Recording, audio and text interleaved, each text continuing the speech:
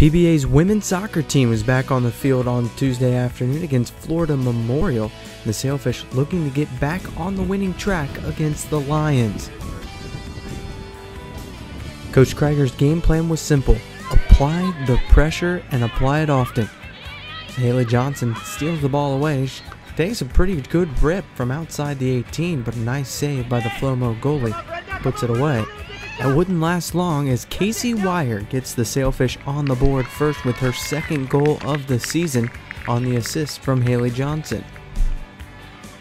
Wire wasn't finished yet.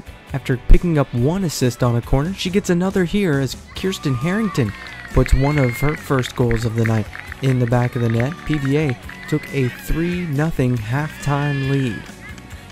Just 10 minutes into the second half, Haley Johnson scored on a Laura Geisler feed, putting Palm Beach Atlantic up 4 to nothing. The final nail in the coffin came in the 77th minute as Kirsten Harrington's blast finds the upper right and gives PBA what the final score would end up being a 5 0 lead over Flomo. With Harrington's two goals on the afternoon, she puts herself in the top spot in goals scored on the team for the season. Casey Wire had a goal and two assists, upping her season total to eight points. She's now got two goals and four assists on the year. Casey Wire, after a pretty good performance, a couple assists and a goal. And Casey, what was uh, your mentality today coming into this match? I think, well, we've had a couple rough games, and it was just, just good to come up and we wanted to score some goals and get a win in. And I think that's just what we went out and came to do, and it feels good. Kyler, we uh, we had a tough match last weekend up in uh, Tampa, and so we wanted to uh, redeem ourselves. We know we played a great game there.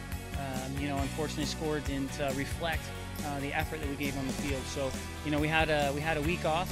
Um, you know, with uh, the end of September, and then we came back just looking to to get our legs back in the game, and this was a good start for us. So, you know, we wanted to do it from the opening whistle, and, and you know, we saw that unfortunately missing in the first minute there, uh, missing that goal, which would have been a great start to what we talked about. So, we're happy with uh, with the result.